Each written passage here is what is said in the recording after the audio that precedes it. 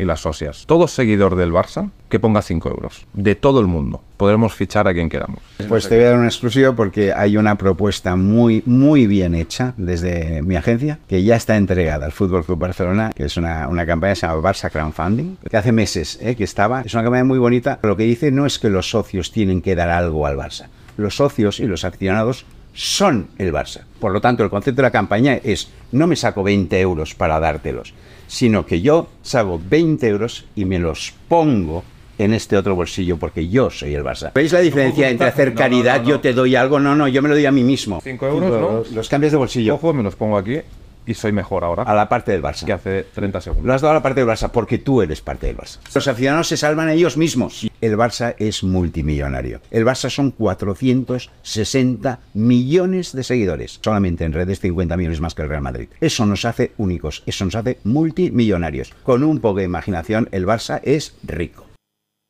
460 millones. Toma. Sí. Pues ya está. Ya no sé.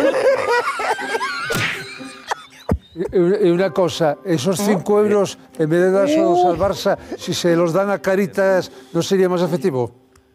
De verdad. Hombre, sería, No, sería hombre, mejor. pero la historia esta y- es que el Barça de esos 2.000, ¿cuánto decías tú?